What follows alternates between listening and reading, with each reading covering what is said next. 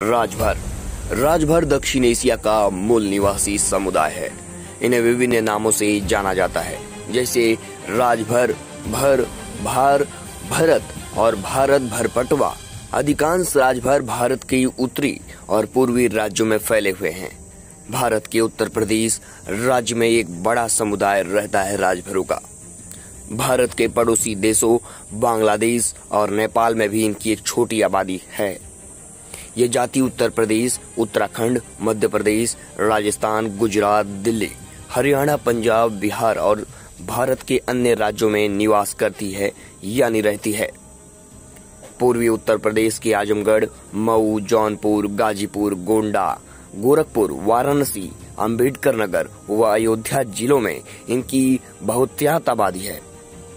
इस जाति को नविको या मल्लाहों की एक उपजाति के रूप में भी जाना जाता है। वर्तमान में इस समुदाय की स्थिति जो भी हो, लेकिन इनका इतिहास स्वर्णिम और गौरवशाली है। ऐतिहासिक रूप से ये उत्तर प्रदेश के अवध क्षेत्र, गंगा नदी के दोनों किनारे बनारस और इलाहाबाद के बीच में बहुत शक्तिशाली थे। कभी पूरा इलाहाबाद जिला इनके नियंत्रण में था। राजभरों के, इनके किले को भरडी कहा जाता है। जिनमें से कुछ बहुत विशाल आकार के थे।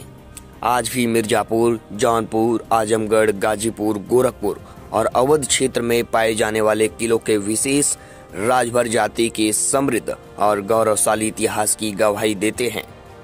जानते हैं राजभर जाति का इतिहास, राजभर शब्द की उत्पत्ति कैसे हुई?